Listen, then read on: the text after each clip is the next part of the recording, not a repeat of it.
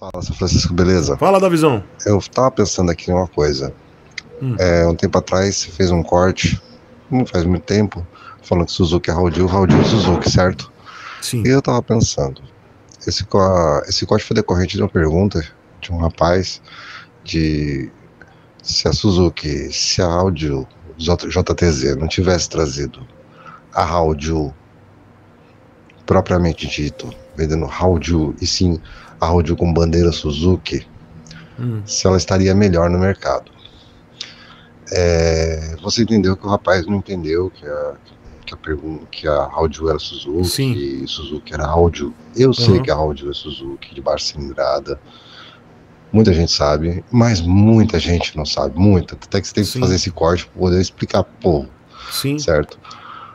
Aí eu pergunto para você, se a Suzuki, se a JTZ ou J Toledo, né, tivesse trazido as motos da Audio com a bandeira, o nome Suzuki, o nome Suzuki nas motos dela, você acha que não seria melhor? Não estaria melhor no mercado? Porque é o seguinte, a gente sabe que é a mesma que é a mesma montadora, mas muita gente olha e não sabe, pensa que é, é uma chinesa, não liga uma coisa a outra, entendeu? Sim. E daí tem que fazer, daí você, com pessoas como você, tem que fazer corte explicando, é a mesma marca, é a mesma coisa, aquela moto tal, Uhum. que você tanto gosta, tam- é dela. Tipo o Intruder, tipo Yes, assim vai, entendeu? Não seria, não seria mais interessante, ela não estaria melhor no mercado se vendesse, por exemplo, uma DK 160 da Suzuki. O nome, o nome Suzuki é muito forte, entendeu? O nome Audio não. Entendeu? Eu tô falando assim pelo nome. A marca Suzuki é muito forte. Então o cara ia olhar pra falar, puta, é Suzuki, né? Vou pegar. Daí o cara foi pensando, um Haoju, essas chinesas. Você sabe que tem o preconceito, né? Contra chinês Sim, e assim claro. vai. Tem cara que compra DK 150. Tio, tem cara que compra DK 150. O cara fala que é indiana.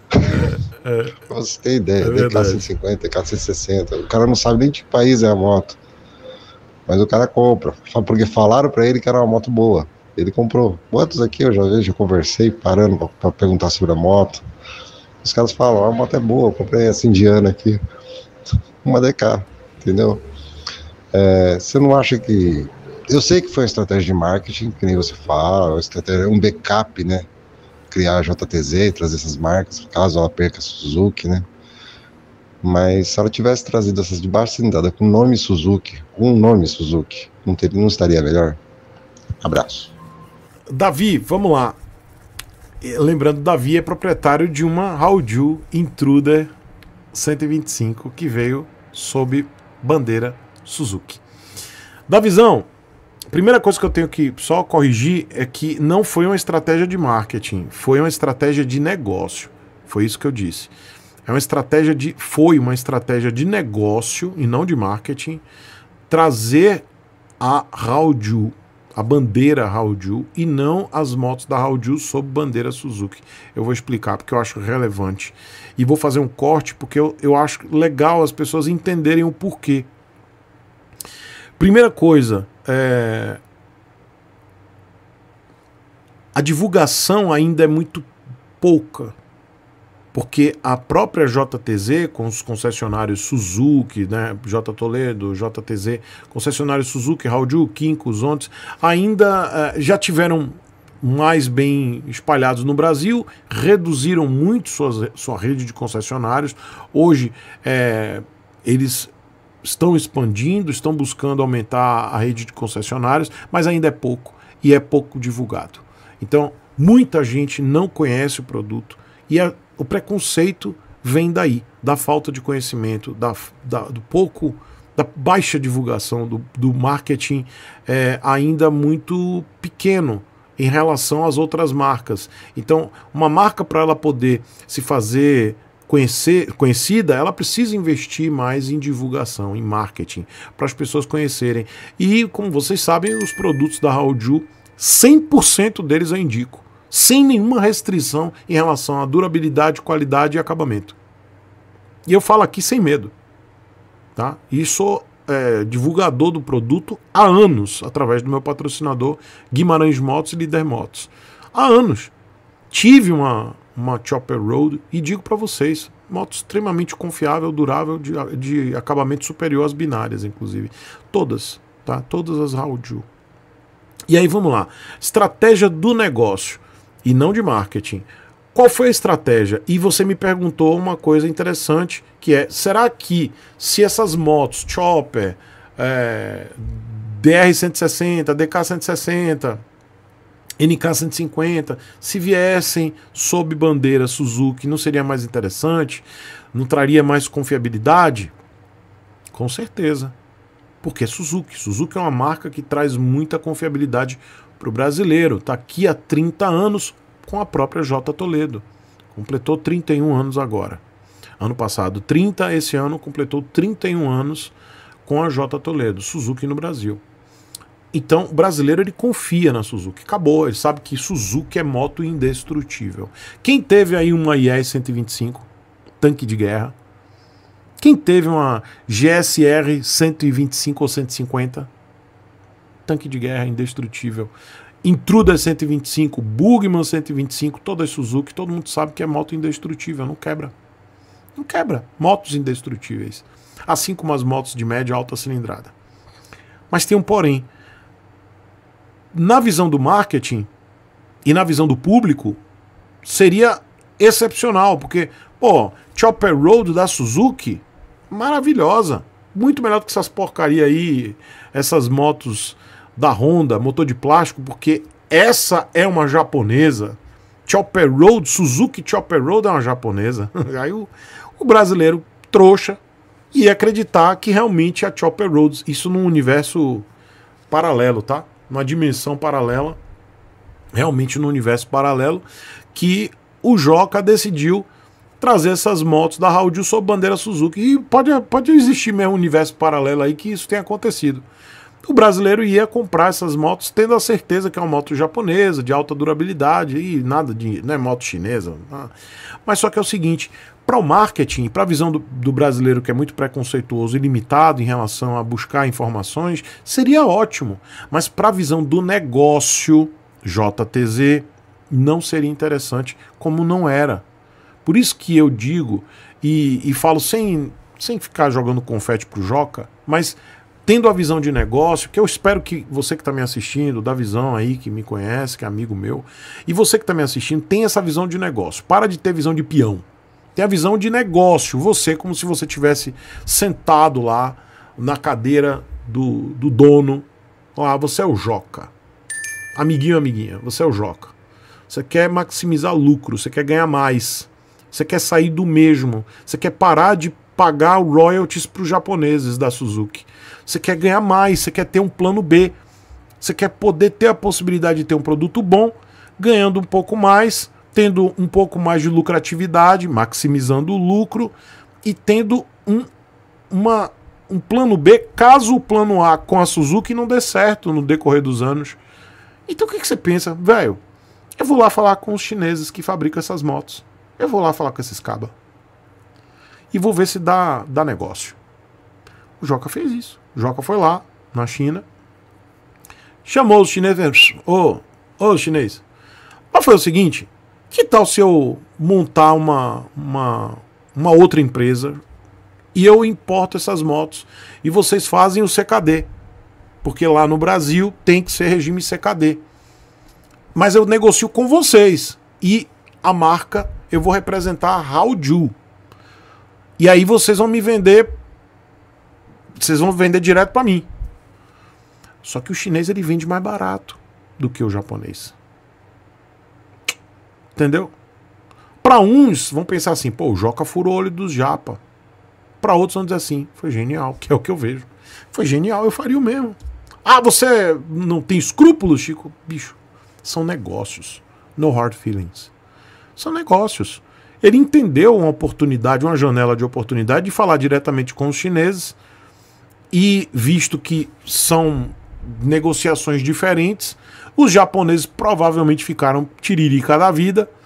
Pensaram, como assim? Você furou meu olho, fi. E o Joca falou, são negócios. No hard feelings. E aí ele foi lá negociou com os chineses porque maximizou o lucro. Vamos parar de ter visão de de pé de chinelo? Vamos pensar como empresário. Você que tem uma pequena empresa, que tem um pequeno negócio, você que quer crescer.